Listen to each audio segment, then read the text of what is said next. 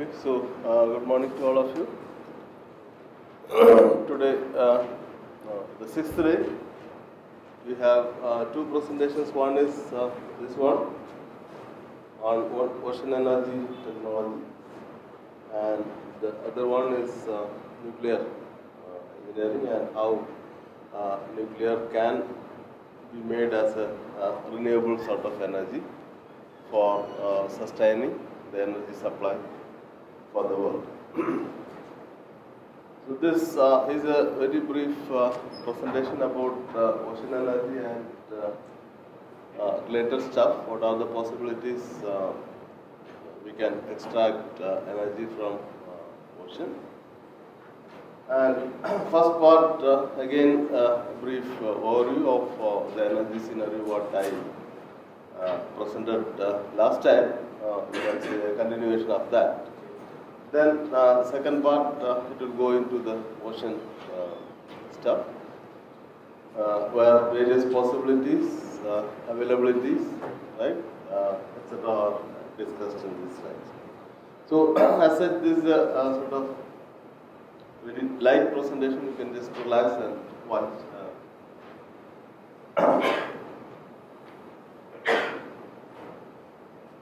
So this is the uh, planet we live, and uh, this is the way it looks like when you uh, look at it from the space. Uh, more than 70% covered by water, uh, ocean, and uh, remaining is part of it is vacant. We cannot live, and very partial space where we live. Some places it is overcrowded, like our Indian uh, continent. If you look at the uh, ocean physiography, it looks just like uh, uh, the uh, land, okay, where uh, in the land you have hills, valleys, right? Similarly, in the ocean also, uh, inside the ocean you have hills, valleys, uh, some of the places so deep, some of the places shallow, right? Some of uh, the ocean uh, regions are very close to the uh, land level, etc.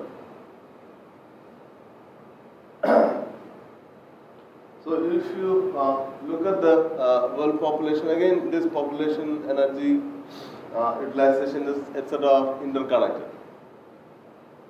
So we find that uh, the advanced countries or industrialized countries, uh, they could control the uh, population and they could contain the population growth, whereas developing countries like ours still struggle to uh, control the population and uh, of late uh, the concept is that another concept comes that even more population is good in the sense that uh, countries like US where the average age of the people are becoming more and more uh, and you have more senior citizens than the youngsters who can um, work hard and uh, develop the country, right? So in that case, people from here go there and uh, uh, do the work. Anyway, uh, we expect that uh, the population to reach, uh, world population to reach uh, something like uh, 100 billion by 2050. And again, various uh, correlations and projections are there with respect to this. And also it depends on various factors. As I said, one of the important factors is that as the country develops, then uh, you have better control over the population and people uh, try to uh, produce less uh, offspring. Then uh, more and more population, more and more population density, we have uh, more and more uh, pollution. And pollution uh, is split into two, air pollution and water pollution. And air pollution predominantly comes from uh, the burning of conventional fuels, fossil fuels. We throw the exhaust gas uh, into the air. As the uh, development of the uh, country goes more and more.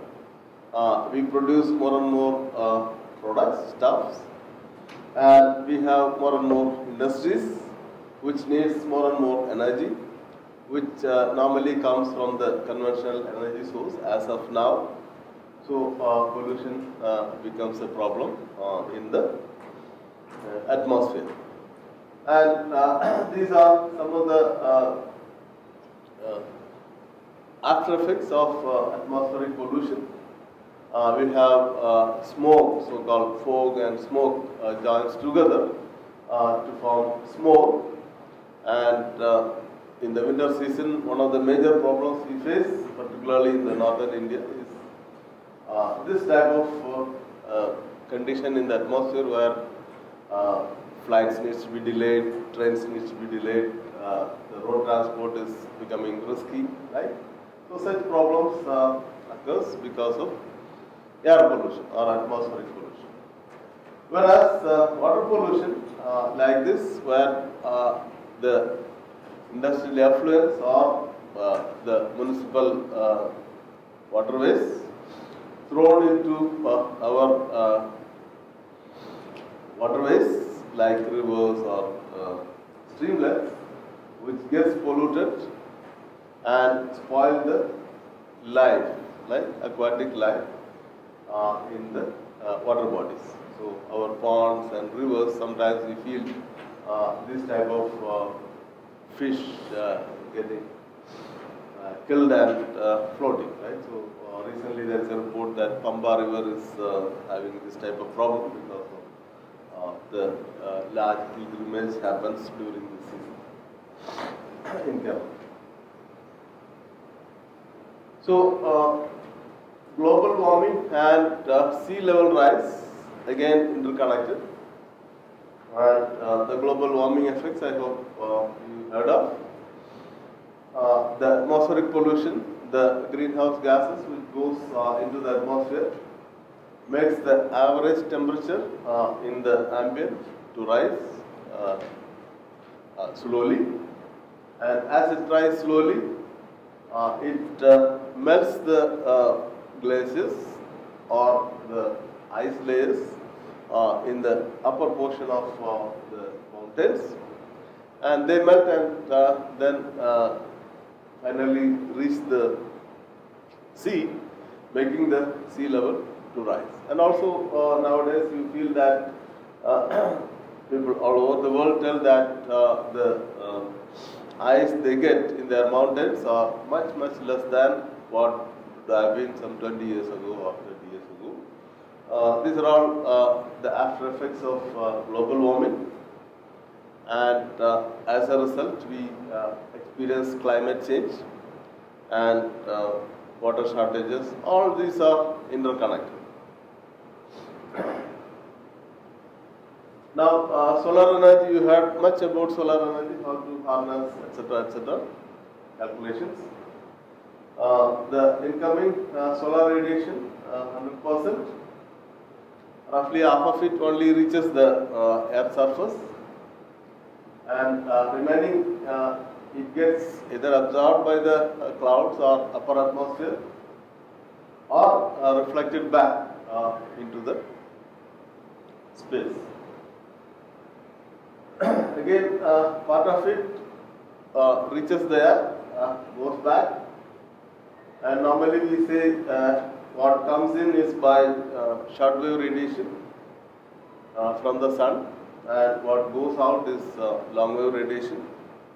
So, if we reject lot of greenhouse gases which remains at the upper layers, they try to stop the reflection back into the atmosphere, making effectively uh, to heat the earth. Okay, so earth surface is getting heated, or uh, near uh, air near the uh, land and sea gets heated up, and we experience uh, some sort of uh, changes that happens in the atmosphere. Effectively, the average temperature slowly getting increased. Okay, so the greenhouse gases remains like this, prevent the uh, re-radiation or uh, the uh, heat that tries to go into the atmosphere back, and they are reflected back and making the surface more and more hotter or near uh, earth surface becoming more and more hotter. That becomes one of the reasons to uh, melt the ice glaciers uh, faster.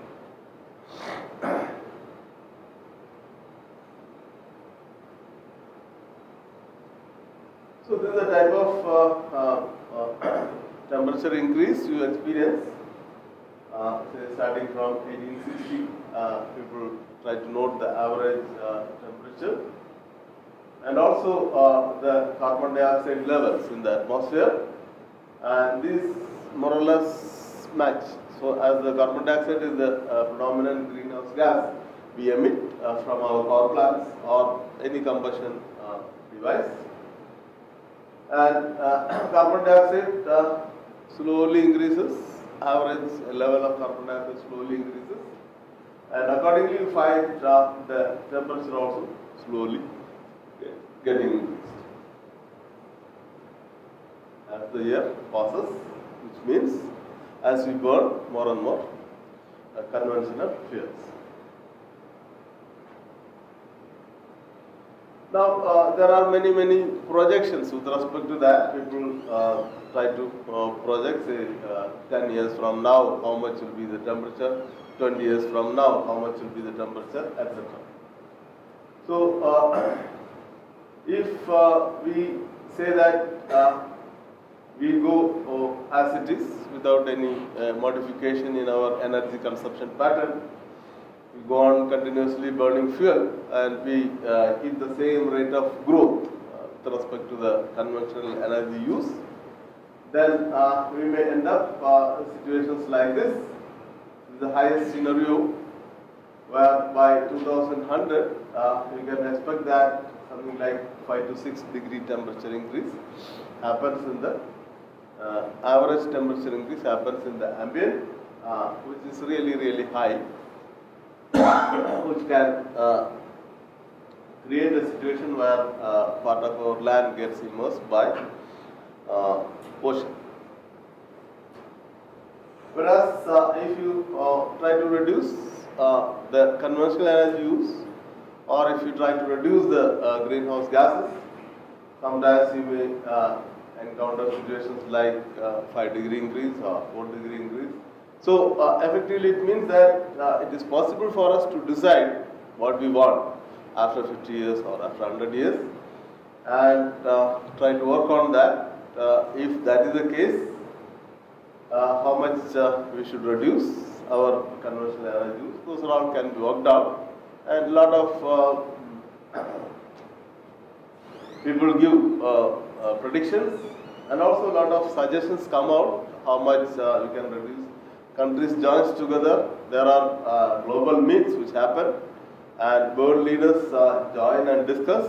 Uh, one of the major discussion now happens is with respect to global warming and conventional energy use. Okay, how to reduce pollution, how much we, we should reduce. So targets can be fixed and we can work out to reach the targets uh, which we have uh, fixed in advance. okay, so uh, this is the uh, sea level rise. Uh, as the temperature increases again as per the uh, various projections, we can also calculate how much sea level rise will increase. So if there is something like uh, 5 to 6 degrees temperature increase, average temperature increase, you can expect something like 0.9 to uh, 1 meter uh, increase in the sea level. And uh, which uh, is uh, really uh, fatal for many of the regions uh, which lie very close to the ocean. And some of the water levels are almost at par with the land level. So those regions will get inundated. And we lose uh, the valuable uh, land.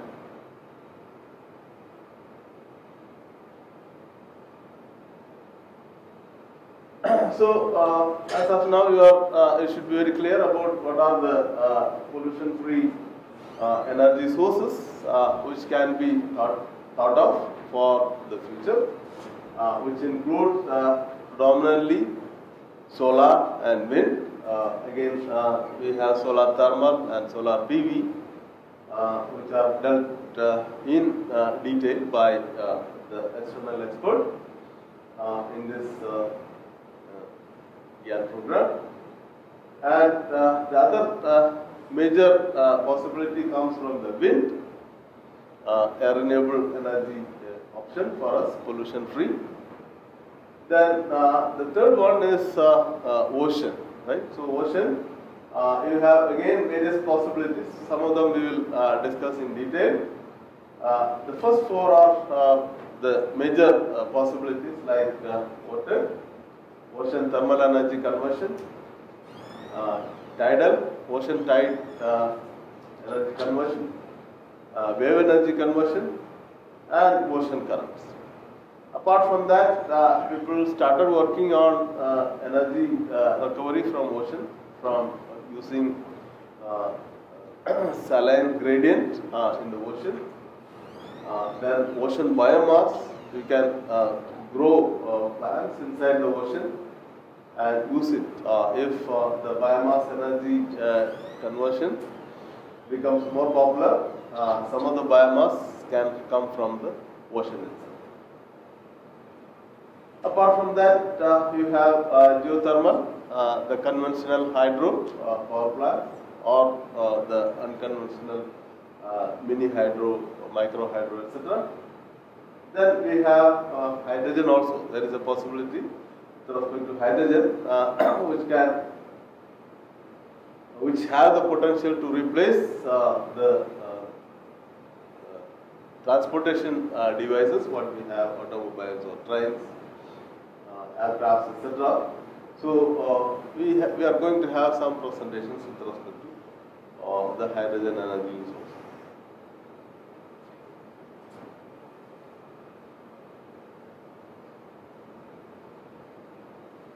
So uh, the major thrust uh, for the uh, renewable and pollution-free energy are uh, the rapid increase of the world population and demand for energy. So we don't have much control as of now uh, because as long as there is a provision, people try to use that. And if there is an additional uh, uh, device that comes into our life, uh, invariably it comes with the uh, tag of energy use, conventional energy use. So uh, we have to uh, uh, satisfy that requirement. Then uh, increased environmental awareness. Uh, then uh, regarding global warming, uh, sea level rise, and its impact. People, as I said, people started thinking seriously with, with respect to these things, and uh, countries joined together uh, to uh, sort out these issues as of now. Uh, then possible uh, depletion of fossil fuel uh, in the future. So this again is a uh, matter discussed uh, by nations. Uh, people think very seriously about this because as of now we are sure that our conventional fuels are not going to last for long. And again, there are many, many predictions. So, oil may end in 30 to 40 years, then uh, gas may end in uh, 60 to 70 years, coal may come under 150 years.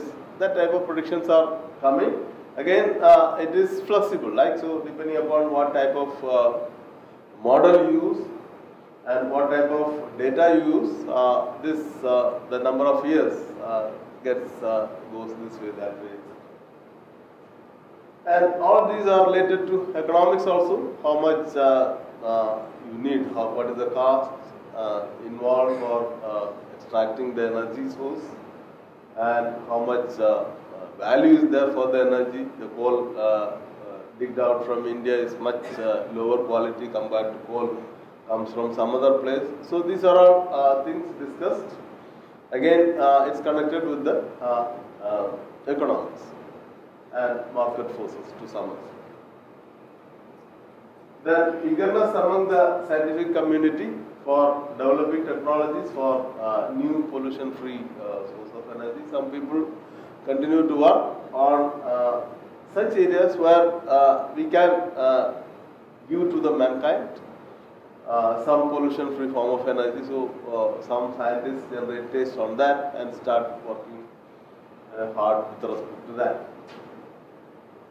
Then always there is interest to uh, break the uh, techno-economic challenges. So uh, if you have a conventional fuel, uh, conventional fuel uh, using device uh, which are mass produced and conventional fuels as I said on the other day tied with the market forces systematically as of now people are very sure about uh, what will be the oil price, how much it is going to change uh, with respect to day, with respect to uh, month, etc. Uh, so uh, they could uh, plan or they could use such devices in an easier fashion compared to devices which are unconventional, which are new, and sometimes some of the factors are unpredictable, right? Uh, for example, if you uh, decide to use a, a hydrogen device, you are not sure whether hydrogen will be available to you or hydrogen uh, will be supplied uh, at the same cost where uh, initially you bought. Such things are there. So uh, many many things needs to be thought about when we put into practice new energy device or new energy conversion technology. Some of the uh, thought-provoking information, again, uh, you will find many such things if you uh, search in the Google. Some of them I have listed here. Something like 750 billion tons of carbon dioxide emission between now and uh, 2050 means world is to have uh, 2 in 3 chance for staying within uh, 2 degree uh, centigrade temperature rise, average temperature rise uh, in the ambient. US uh, with less than 5% of uh, global population and uh, 35 billion tons of carbon dioxide emission allowance. We limit this within 6 years, right? So if you fix our target as this, 750 billion tons of carbon dioxide up to 2050, then with the present uh, energy consumption rate and the energy consumption pattern, uh, US will uh, reach the target within 6 years. Remember that again connected with the uh, temperature rise. Uh, Europe, China and India will uh, require 12, 24 and 88 years respectively to reach that target, right? So, which indirectly means that uh, we are much better off uh, with respect to that, mainly because our uh, conventional energy consumption is uh, so low. Uh, whereas, as our growth progresses in a larger pace, uh, again this number will get reduced. We may faster reach the target. So the best option to save the air becomes the utilization of clean energy or green energy or renewable energy, whatever uh, way it is available, whatever form it is available, and go ahead with our uh, replacement of conventional energy devices. so uh, this picture shows the uh, present day energy needs uh, of the world. This one, European Union, uh, this one, uh, Middle East and North Africa region, uh, the smallest one. And uh, the uh, physical potential of uh, renewable energy, uh, the largest uh, cube is uh, the solar radiation,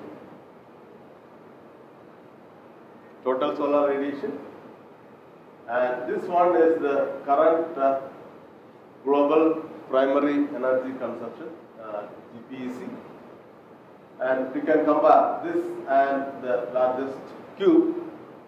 Uh, how much is the uh, total solar radiation we get compared to the uh, energy use, uh, conventional energy use you do during this time.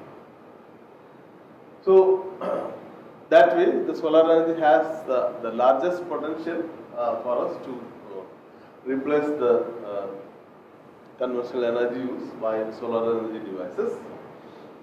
Next comes the wind energy as I have listed earlier uh, which has a reasonably large potential and wherever wind is available uh, we can go ahead for harnessing it and using it uh, directly convertible uh, into electrical energy by uh, windmills. Uh, the third one is uh, the biomass.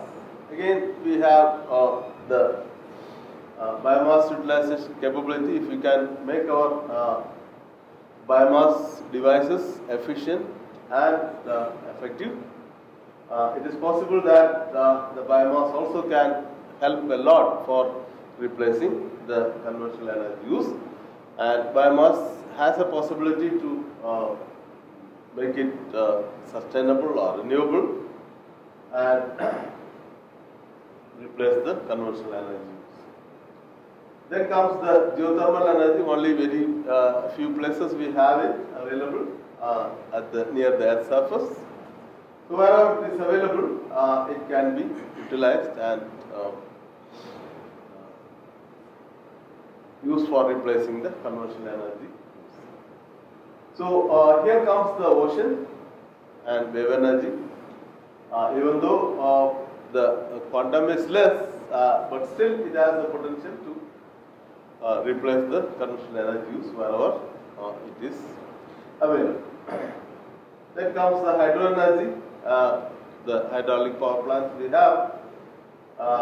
We have limited uh, potential even though it is renewable. Uh, there are problems with respect to putting up dams and using it.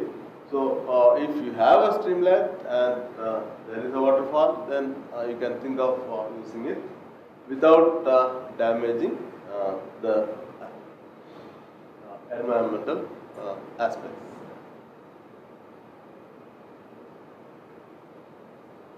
Uh, renewable energy share of uh, the global uh, energy consumption. This picture gives a uh, perspective with respect to how far renewable energy is used and what are the different ways it is used. And as of now, uh, the fossil fuels we have about 80 percent. 80 percent of our uh, uh, energy use happens from the fossil fuels, and nuclear fuels it's around 3 to 4 percent. Uh, then uh, remaining around 18 percent is uh, uh, renewable energy use, out of which uh, the traditional biomass is 13 percent. The large hydro plants is about 3 percent. Then water heating, solar water heating, hot water applications about 1.3 percent and power generation is uh, 0.8 percent uh, using solar PV and wind. Then uh, you have biofuels uh, about 0.3 percent.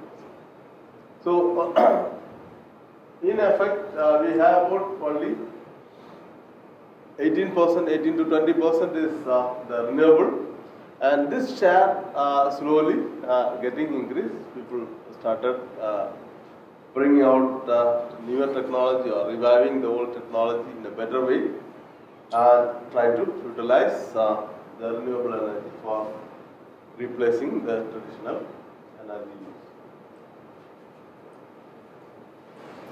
Uh, the estimated uh, atmospheric carbon dioxide greenhouse gas uh, in 2050, as I showed uh, uh, in the graph earlier, uh, if you do business as usual, as I said, uh, if you keep the same pace of uh, growth, uh, conventional energy use, uh, industrialize the nations which are not yet industrialized, and uh, the carbon dioxide level uh, will reach from something like 965 to uh, 1410, which has the potential to increase the temperature, uh, ambient temperature to the extent of uh, 5 to 6 degrees. Uh, whereas uh, if you start applying the uh, uh, proposals, uh, so-called we have carbon credits and industrialized nations support the non-industrialized nations to develop their unconventional energy systems. Instead of going for conventional energy new conventional energy systems go for unconventional energy systems or renewable energy systems. Uh, the money is given by the developed countries. Uh, so if you do some sort of uh, minor measures with respect to that uh, it's happening now as such the carbon dioxide level uh, can come down uh, less than 1000 uh, then uh, the temperature rise, average temperature rise can be contained within 4 degrees. Whereas if you go oh, further, give more push to such proposals, uh, industrialized nations also uh, try to uh, implement measures. They again slowly started doing that. Uh, even you find uh, Gulf nations where enough oil is available, they uh, implement uh, solar devices, uh, biomass devices, right? So, if such situation happens uh, in the near future, then we can bring it further down to something like uh, 700 uh, carbon dioxide equivalent level, which can make the uh, temperature rise uh, to 2.5 or 2.9. And in future, we can expect that uh, many countries go uh, further into their measures. Uh, they go a, a sort of uh, blanket uh, ban or something to uh, have future uh, conventional energy devices, no longer uh, future conventional energy devices. Such decisions are taken uh, by uh, industrialized nations and they uh, go uh, in a large scale uh, implementation of the non-conventional energy devices. then the carbon dioxide equivalent can come as close as 500 uh, level and temperature increase can be contained uh, below 2 degree Celsius.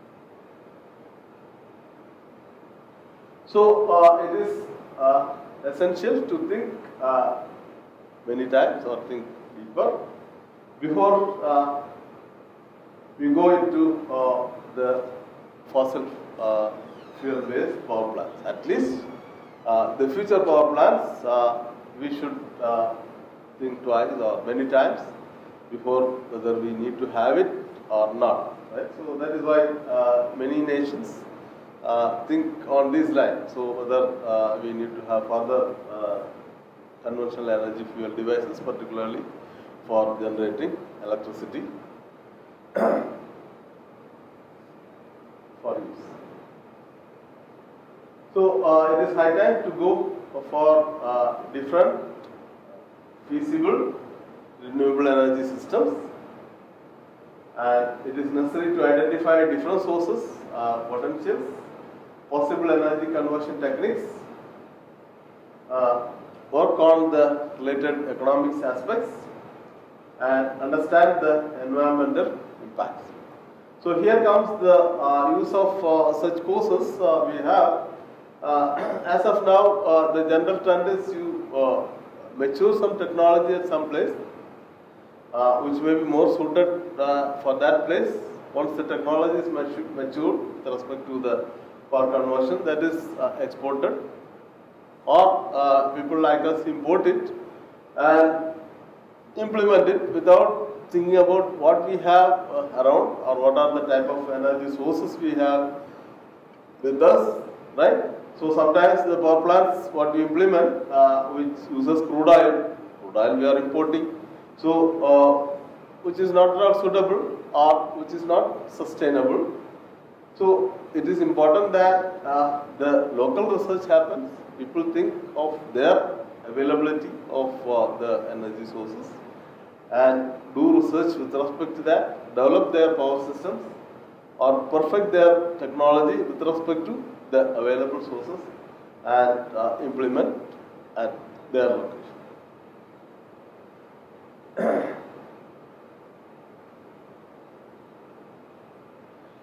Comparison of renewable energy technologies.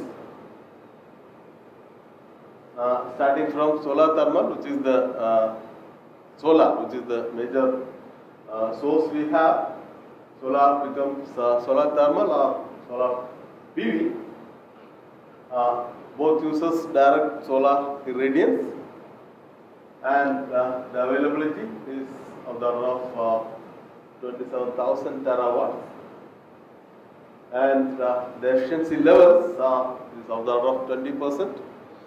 And we don't have much scope to uh, enhance the solar thermal efficiency.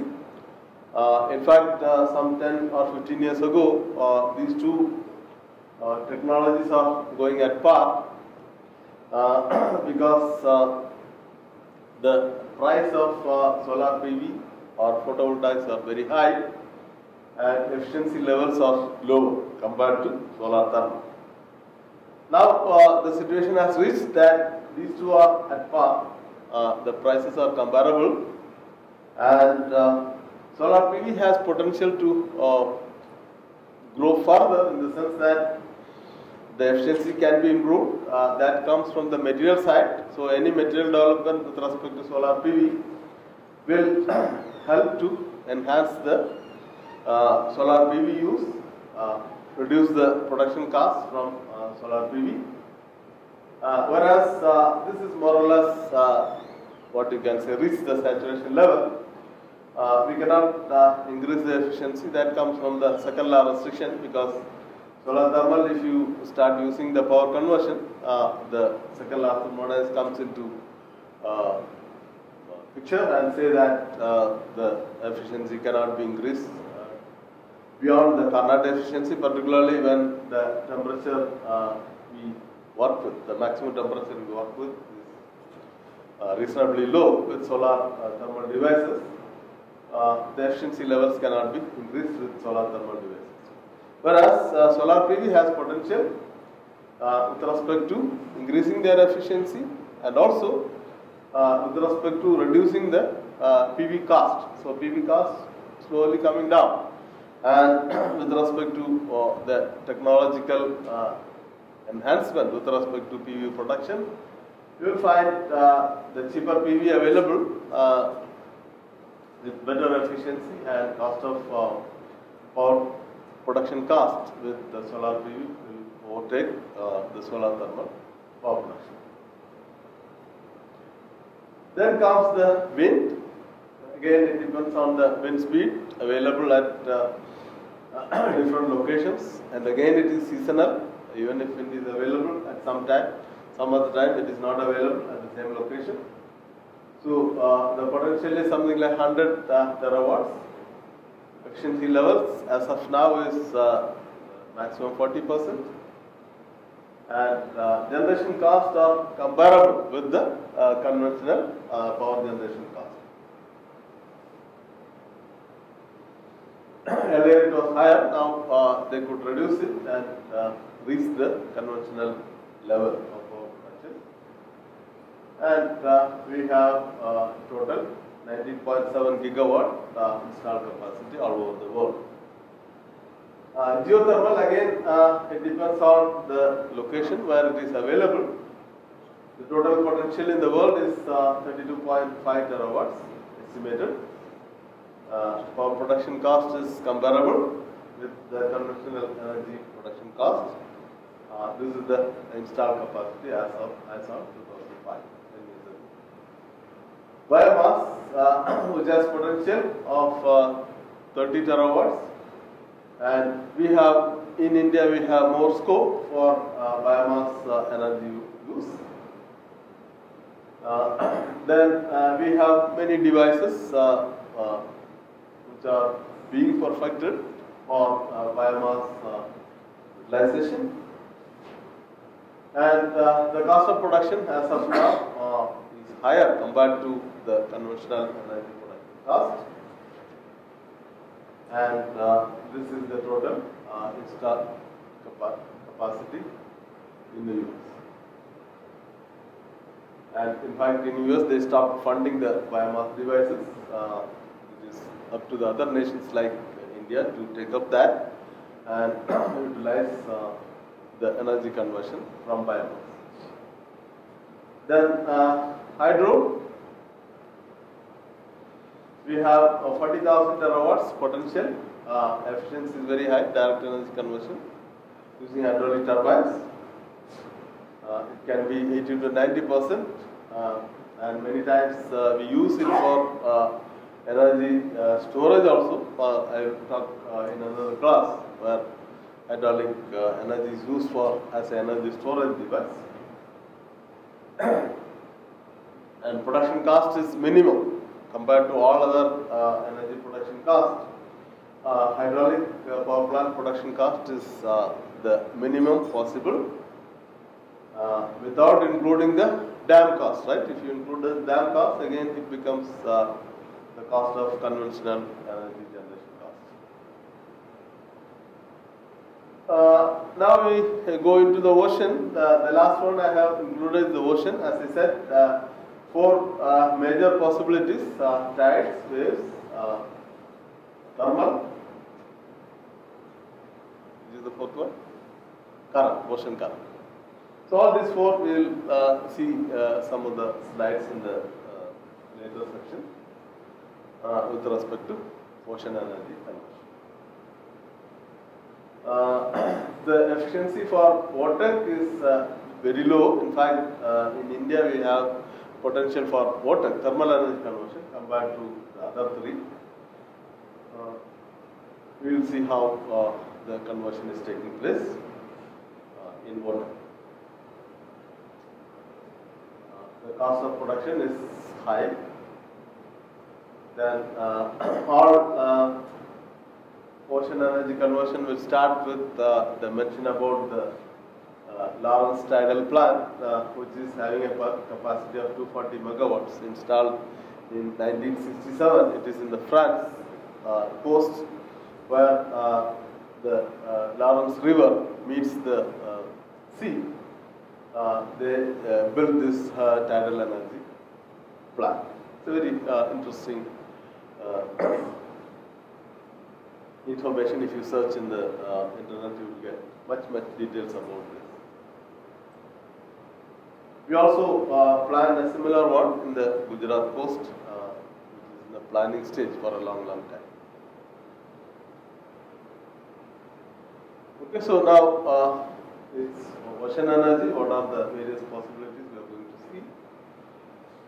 Uh, estimates of worldwide ocean energy potential in terawatts, which is done in 1982 by uh, Charlie.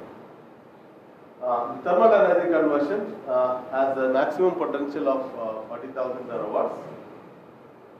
Then saline gradients, uh, which has a potential of uh, 1400 terawatts.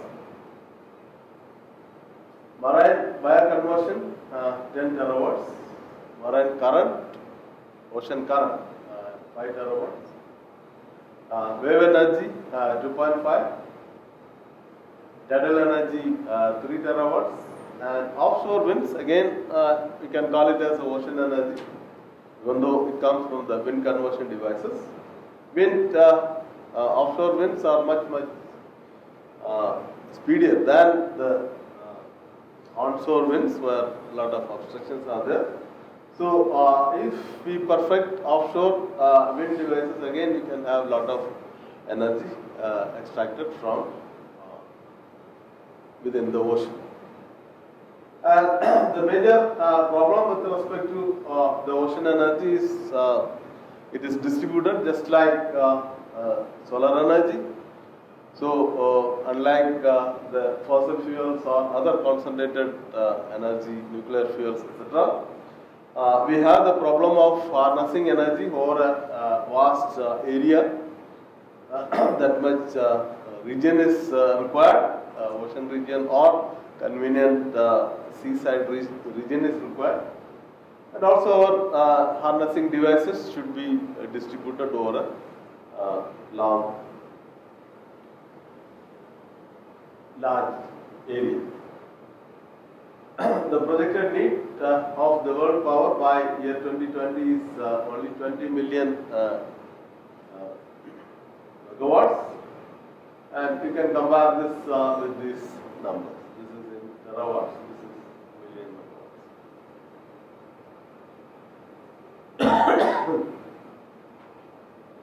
So, uh, if you consider ocean, it is not only a uh, energy uh, reservoir, uh, we it has much more for us, right? So, uh, without our knowledge, ocean helps us a lot. Even uh, fishermen call it as mother, their mother. The ocean gives their livelihood.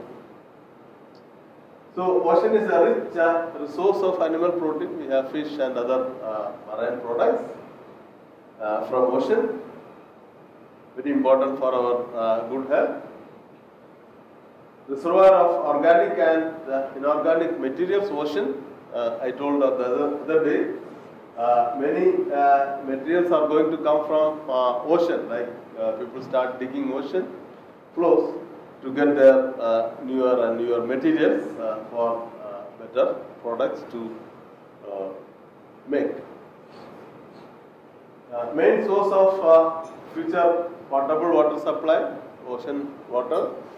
Many Gulf countries already depends very much on distillation from ocean water for their potable water or drinking water. So, uh, if we perfect uh, the uh, water purification uh, from uh, the ocean water, we don't have to worry about our drinking water. So, our conventional water sources are getting dried up. So, it is time we perfect our ocean water purification devices, distillation devices. One of them is the solar uh, distillation or solar assisted distillation, uh, which, can, which can help us to supply the required water uh, for drinking and also use.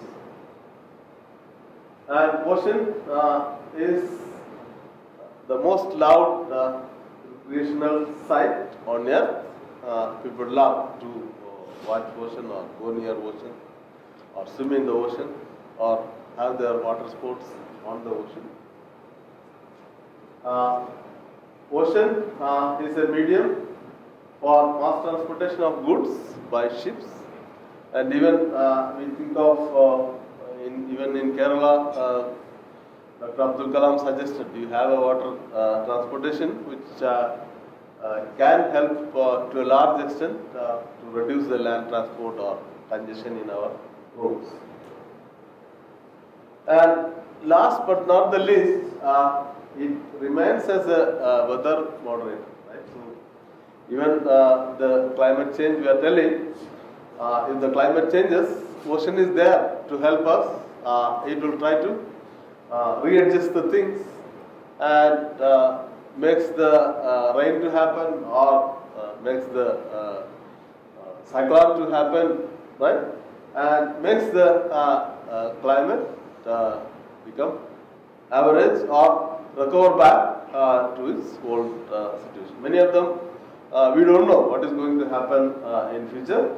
Even if you continuously do the conventional energy use and burn a lot of uh, coal and oil and produce lot of greenhouse gases, sometimes ocean may help us to recover back our old situation by producing such shocks for us. Some of them are shocks only, like sometimes it may come as a tsunami or sometimes it may come as an uh, earthquake within the ocean, right? So, anyway, whatever uh, shock happens, it happens as a moderator and we go back and recover back our original uh, condition, what we remained maybe 10 years ago or 20 years ago. Uh, this bar chart gives uh, the uh, various potentials available uh, with respect to countries and the various uh, forms of energy that can be recovered from the ocean, namely ocean wave, tidal current, OTEC, and salinity gradient. And different countries are uh, marked with the bar charts. Uh, interesting is to note uh, UK and USA, they have large potential with respect to ocean wave and tidal current. Whereas India, we have uh, mainly the OTEC, being tropical nation, very close to the equator. We have uh, deep seas uh, with large temperature gradients between the surface and the uh, deeper ocean, ocean depths. Uh, we have potential for putting up our OTEC plants, thermal energy conversion plants. So we start with OTEC first and see how uh, the energy conversion happens and then quickly finish the other thing. This is the major uh, aspect with respect to or more concerned with respect to India. So this uh, picture shows the uh, temperature levels at uh, different uh, regions of uh, the ocean. So very close to India, uh, we have the temperature differences up to 20 to 25 degree temperature difference. Whereas much deeper into the ocean, sometimes you may get to the maximum of 24 degrees.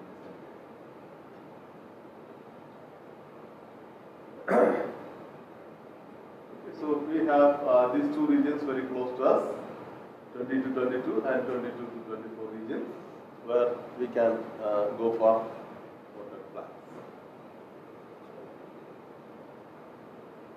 This is a typical uh, OTEC plant. NIOT is working on that, National Institute of Ocean Technology in Chennai. Uh, that is the flagship uh, uh, institution for uh, ocean research, ocean energy research. Fact, uh, one of the uh, head of that institution gone from us, from uh, he was earlier with us. So uh, they are trying to perfect this uh, OTEC device uh, which floats on the ocean surface, takes in water, cold water from the depth. It is anchored at some location where sufficient depths are there and sufficient temperature difference are there between the surface water and deeper water. So cold water is taken from the depth and surface water is taken from uh, the uh, near the surface. Then uh, we have the system working inside the uh, barge, and after utilizing the cold and hot water, they are mixed together and uh, discharged at some other uh, location in the barge. So here we have the device which uses hot water and cold water. Hot water uh, remains as the high temperature, cold water remains at the low temperature level, and we have a, a, a what you can say organic uh, device, organic.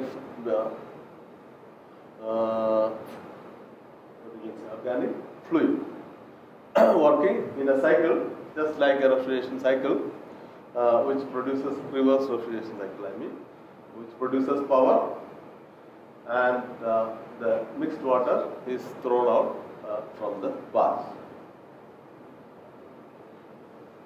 So uh, many such uh, barges can be uh, located in a vast region and you can go on adding up your uh, energy, total energy conversion comes from the OTEC. So, uh, this is one of the possibilities of uh, the energy conversion in a uh, OTEC plant. so uh, water from the uh, surface comes in, which is hot water of the order of uh, 29 to 30 degrees centigrade, and uh, uh, deeper uh, location water comes in here of the order of uh, 5 to 6 degrees centigrade. Then uh, you uh, produce uh, steam or what is evaporated here. Uh, then the evaporated steam uh, drives the turbine. Then uh, power is generated here, electricity. Then uh, the low pressure steam comes out and get condensed by the cold water and uh, you get distilled water out of that. So this is the open cycle system where water itself is used as a working substance and as a byproduct you have clean water or uh, desalinated water for useful purposes. On the other hand, you have a closed system where we have organic fluid, as I said. Uh, Hot water and cold water is used at the high temperature and low temperature levels. And hot water uh, evaporates the organic fluid, which may be ammonia or similar uh, substance, uh, which drives the turbine uh, and electricity is generated. Then the low pressure uh, ammonia comes out and a heat exchanger passes through a heat exchanger where cold, cold water is supplied and gets condensed and pumped back into the uh, high temperature heat exchanger. So this cycle goes on. This is a closed cycle where organic fluid is working and hot water and cold water get circulated from the two heat exchangers where uh, evaporation and condensation takes place uh, for the working substance. Now we can uh, mix the hot and cold water comes out and uh, use it for other purposes. I'm going to show in the uh, next slides. Again, uh, you can say uh, this if this is at uh, 30 degrees, this is at 5 degrees, then uh, this should be around 15 degrees or 18 degrees, uh, where you have useful purposes for such water at that temperature level. Then we have concepts of hybrid OTEC systems also. Uh, in fact, this, as I said, uh, the efficiency of such systems are very, very low, something like 4 degree, 5, uh, 4% or 5%. So, uh, unless you uh, make it as a hybrid system or bring in other uses, like the water, distilled water comes out, goes as a, it generates some cost or recovers some cost for the plant, or use the uh, average temperature uh, water get mixed up, hot water and cold water get mixed up, and average temperature water may be used for some uh, marine culture or something like that. So uh, it is required to combine uh, many uh, such combination of uses, then only the cost will work out for the OTEC plant. So this is one such hybrid OTEC system where uh, uh, uh, we have sprouts and steam come out, then gets condensed. Yeah, ammonia cycle works yeah, as a closed cycle plant. Then from here also the steam, a steam turbine works and also generates some power out of that. So total power is from uh, this turbine as well as this turbine, right? Ammonia turbine as well as steam turbine. Then uh, we have uh, uh, vacuum pump operating, non-condensable gases, desalinated water, Then uh, additional power comes from the ammonia turbine. Then you have ammonia condenser. Another uh, such concept which uh, explains the many usefulness of uh, the OTEC system. You have the main vortex system here which uses hot water and cold water from the surface and deeper oceans respectively. Then we have uh, electricity from the OTEC plant, uh, desalinated water for uh, useful purposes, drinking purposes. Then uh, we have mixed water, hot water and cold water from the ocean uh, get mixed up uh, together and available at the average temperature and at different temperature levels uh, we can use it for different purposes. Uh, watch out what temperature the water comes out and we can go for such marine culture, which type of uh, marine uh, organism can be developed with respect to that particular temperature. We can choose and uh, use such, uh, make useful uh, even that water and make the uh, OTEC system more economic. So the advantages of OTEC system include it is non-polluting operation. Uh, there is opportunity for uh, desalination and producing pure water.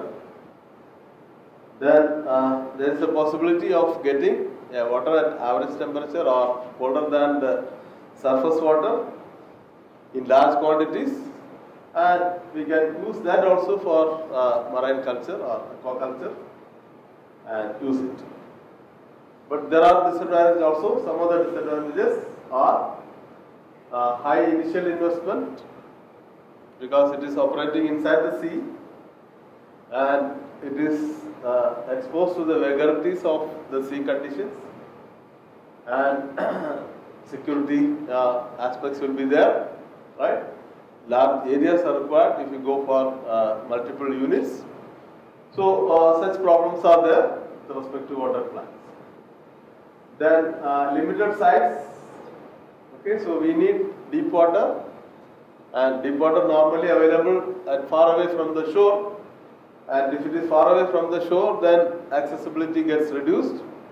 So such issues are there uh, which needs to be worked out. And if you have a, a location very close to the shore, it is well and good, and you can uh, go for that. Then there is a potential damage for uh, local marine ecology. So uh, initially you have uh, you will face problems like this. So if your OTEC plant is very close to the shore, uh, many people livelihood de- will depend on the uh, marine uh, life near the shore. So get they get affected, but there is only a short factor, short time factor. In the long time, the as I said, the water comes out from the OTEC plant itself can be used for aquaculture and condition uh, measured aquaculture and you can be sure of uh, your uh, produce, marine produce, what it comes, how much it comes, etc. Now, wave energy, second uh, possibility. This uh, picture shows the power of the wave. Uh, wave is uh, the water, sea water, packed with power, right? So it comes uh, very close to the shore, depending upon the uh, geographical conditions, depending upon the location. We get uh, waves as high as a few meters, right? And for India, such availability is much less. But for the monsoon season, uh, even in Kerala coast, we have uh, similar waves, but for a short duration. This picture shows the wave energy availability uh, in a scale of 1 to 100. Uh, 100 you will find somewhere here, where the wave is uh, so high. Uh, but uh, this is not much useful unless it is close to the shore. And you will find uh, the maximum available uh, near UK, something like 70, 60 to 70 here. And US, some locations here you will find 60 plus. And also somewhere here in Australia you will find uh, 70 plus. Okay. Whereas uh, in India and you have very small uh, availability with respect to energy. So where uh, such potentials are there, wave energy is high, then uh, we can go for harnessing wave energy by putting up our wave energy systems. A typical uh, wave energy system will look like this, uh, a construction like this. We have a, a turbine, okay. So uh, wave from the ocean comes, gets transmitted inside uh, the housing. So uh, the water moves up and down. So as, as it moves up and down, we have a wall arrangement uh, in such a way that uh, it flows in this direction, right? So uh, the air pushed up and flows through the turbine and uh, the turbine rotates and uh, energy is extracted, power is generated out of that. so uh, remaining air can go out or what is required when the uh, water level falls down can come in through this one. This is uh, the flow is in only one direction, but later uh, devices uh, we have provision to have turbines which rotates in only one direction irrespective of the airflow. If airflow from this direction, also turbine rotates clockwise. If air flows from this direction, also the turbine rotates clockwise. So there is no change in the uh, direction of rotation. That is possible. So this is one such uh, example. Uh, we have uh, pilot plant which uh, was put up in the uh, Kerala coast uh, near Trivandrum. Location is called Vizhinjam. Uh, still you will find this uh, structure available there. This is a pilot plant, uh, a project conducted by IIT Madras Ocean Engineering Center.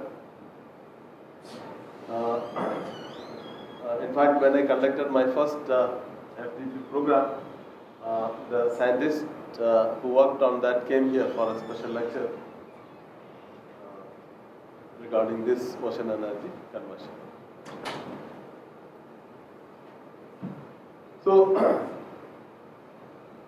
uh, at that time, that was I'm talking about in 1990s. Uh, at that time, uh, they had very good uh, uh, scope for that. Uh, but you know, because of various problems related to our country, they could not mature the technology. Anyway, they closed their project and gone. Originally, they had plans to make it as a uh, power producing uh, location, uh, ocean energy demonstration plant. Because of local objection, fishermen, politics, etc., they stopped at that. They built up the initial plant and demonstrated uh, the power generation. That later they did not uh, pursue on that. But still, you will find this structure uh, now remains as a tourist structure. Walk on the bridge and uh, reach up to this location. So I am talking about this turbine here. Uh, again, the water moves up and down inside the housing, irrespective of the water movement, up and down, irrespective of the airflow or through the turbine, uh, from inside to outside or outside to inside. Uh, the turbine rotates in only one direction. Okay. So it's a continuous uh, power generation device. Uh, the capacity was uh, 150 kilowatts. This is another uh, possibility of uh, ocean energy conversion, ocean wave energy conversion. You can have floating buoys like this, uh, which uh, is connected to a magnet at the bottom.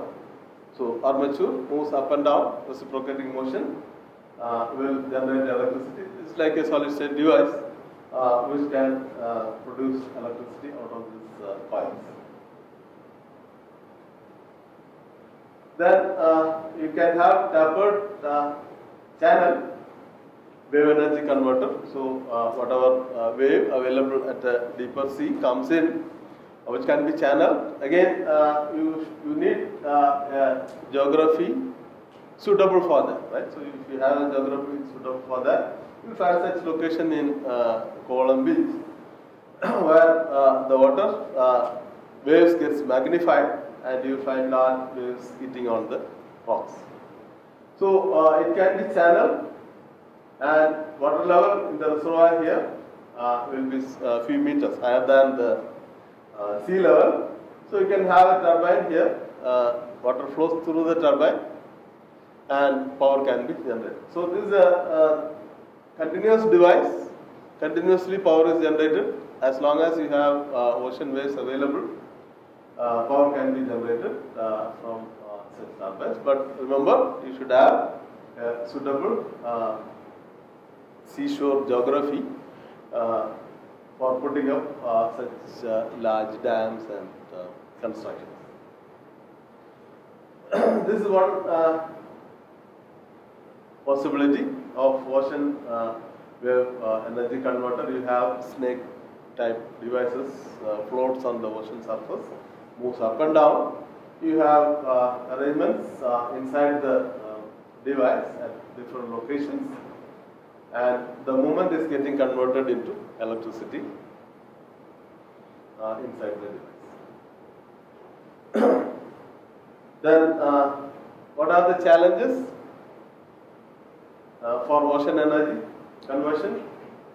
We have uh, large distributed uh, energy just like solar energy, uh, random, much random compared to solar energy at least you have uh, daytime uh, you can some uncertainty you can have with respect to solar energy, but even that you cannot have with respect to ocean energy. We have random input power, high uh, wave forces, uh, stability challenges uh, due to stability of the system because if we have cyclone or such uncertainty happens, large wind happens inside the sea, your system should be safeguarded with respect to that. Sensitivity of the pneumatic efficiency for change in the structure dimensions. Site selection, important factor. Again, as I said, there may be local objections with respect to that. Construction technique and associated problems. Quality of the converter power and the overall power consumption conversion efficiency, effective utilization of uh, input power. Then other uh, major problems like uh, human resource problem, uh, trained labor, with respect to that, uh, erosion around uh, the domain, uh, corrosion of metal parts. What you are talking about is devices which work inside the sea or seashore with salt water traces, uh, our uh, metal parts will get corroded very soon. The wave power economics, uh, design life of the wave power conversion systems. One of the aspects, wave power potential, wave power conversion efficiency, uh, design environmental condition, uh, the local demand for power. Some of uh, such location you find far away from the uh, uh, human uh, inhabitation. So uh, again, how to transport that power. Those are all issues related to that. Uh, prevailing cost of power generation. In general, cost of power generation is higher for ocean energy as of now. Uh, total initial cost of conversion, annual operation and maintenance costs, uh, so these are all uh, we look for for any with respect to any power uh, production or any power, conversion. Then comes the tidal energy, uh, ocean tides, how uh, the tidal energy is converted. Uh, apart from the ocean waves, uh, you have ocean tides also depending upon seasons or even some places uh, depending upon uh, time of the day you will find uh, few meters high tide and low tide okay so uh, places like uh, uk you will find uh, places where uh, daytime uh, the sea will look like this whereas in the night time the sea will reach this much level. Okay? So uh, a few meters uh, level rise will be there in a day itself. So it is possible to use that uh, water height for producing electricity by uh, putting up turbines like this. You build a dam and then pass the water back into the sea through a turbine, uh, water turbine, so you get uh, power generated from the turbine like this.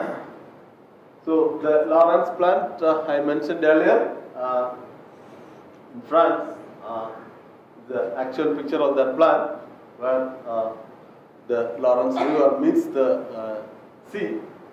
They have a construction like this and have the water turbines working to generate uh, power to the level of uh, 240 megawatts. Uh, still uh, working live plant uh, since 1960s. And as I said, we also have a, a plan. Uh, in the plan stage, we have such a plan thought about uh, for our Gujarat coast. We have a location like this in the Kutch coast uh, where uh, large construction is possible. So, who will invest that much money? Those are all uh, in the uh, planning stage. Then the merits of tidal power, the tidal power is regular from year to year less than 5% variation. So variation is very, very uh, minimum and it is renewable. Every season you get that. Uh, the tide uh, is accurately predictable and hence tidal power potential and average annual power is predictable. Well, the tidal power is inexhaustible and pollution free. Uh, the life of the plant is very large, is equivalent to our uh, hydraulic plants to the extent of 100 years plus. The technology of power uh, production is simple, conventional, uh, hydroelectric power uh, conversion Improved uh, construction technology like uh, prefabricated plant can be used effectively.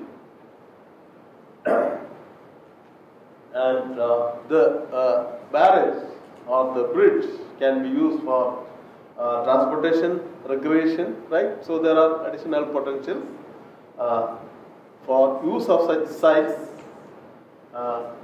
for our useful purposes. And we have demerits also for tidal power. Some of them are uh, change in the hydrodynamic pattern, uh, coastal morphological changes, change in the water quality and environmental impacts. Invariably, there will be some uh, environmental effects that will come, uh, which can affect the marine life uh, in a shorter period and there can be disturbance uh, for navigation if you are put, uh, putting a bridge inside the sea. Uh, sometimes some ports may get affected uh, for sea transportation.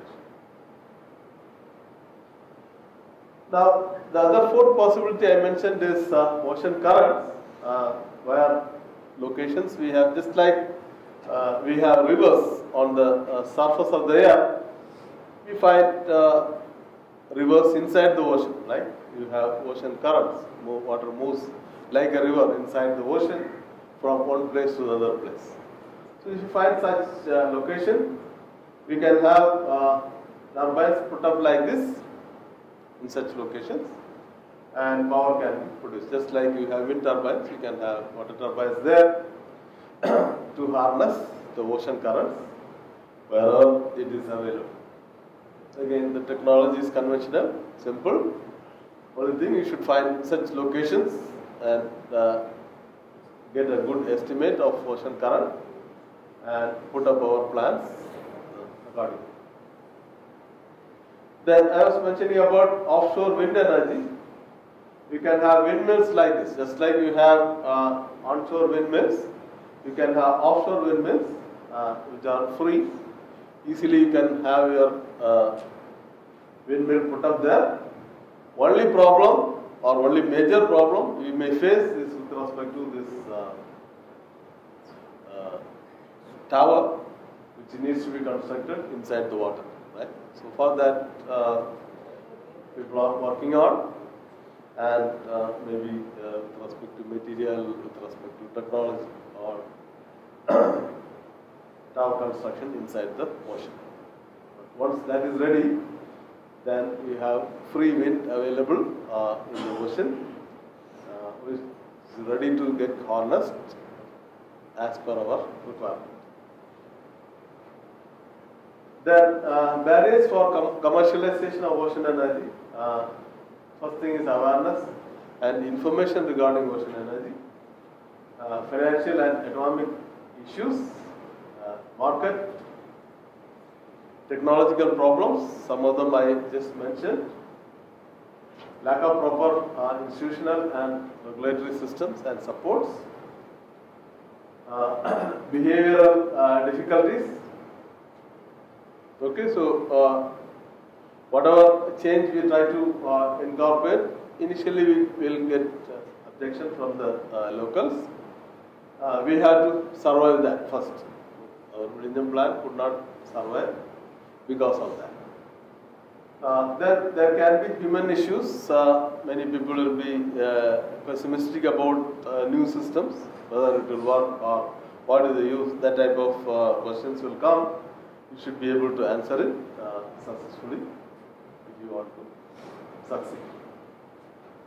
Some of the steps have to be followed for commercialization. That is true for any new uh, renewable energy systems. Accurate data collection, important with respect to ocean energy. Uh, details, detailed investigation of various uh, scientific issues. Then uh, lab demonstration of uh, the hypothesis. Then you take it to the uh, site, put up uh, your pilot plant.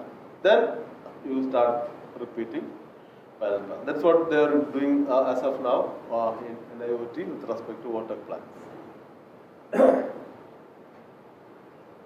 reanalyze the problem, uh, its success and failures. Uh, if it is encouraging, go for 1 megawatt pilot plants. At suitable sites, they are working on 1 megawatt OTEC plants. Uh, get the practical knowledge and experience. Train as many manpower as possible for technical uh, handling of the systems. Uh, do not expect any financial return at this stage. So initially you cannot expect. That's one of the uh, problems we face with respect to renewable energy systems. Always we try to compare renewable energy with uh, conventional energy. Conventional energy has gone a long way and many things are automated and commercialized. So we have a standard rate available. Many things are subsidized also. And uh, if you start comparing the renewable energy rates with conventional energy rate, always you will find there is a difference. Encounter the successes and failures and treat them equally. Many times you will fail, but you should not uh, discard the idea as such. Uh, document important scientific findings rectify the major scientific and technical problems uh, at this stage. Install uh, many commercial plants of larger capacities. The cost for the plant uh, to be sponsored by uh, the government initially. Operate the plant and get uh, new knowledge. Upgrade the technology and rework on the. If it is technically feasible and financially viable, go for commercialization for larger, still larger capacity plants. Build the plant at a standalone uh, basic, uh, as a standalone basic energy source. Uh, private organization can participate at this stage when we have matured the technology, gain further uh, rich experience and sell the knowledge to the outside world. Use the opportunity to train uh, many local manpower, that way you can succeed. Optimize the uh, technology and economics for further installation and of the commercial plants. Access the environmental impacts and sell the technology outside world. So I conclude uh, the presentation. Ocean energy is very much renewable, uh, very much pollution free, and also it is available in abundance but distributed. Uh, may, may be expensive today, but can become uh, cost competitive uh, in the future. Uh, we need to encourage more and more people to work with renewable energy systems. So these are the references. Uh, I will circulate this PPT to you in the CD you are making, right? So uh, you can go through in detail and uh, free for discussion later also. Thank you.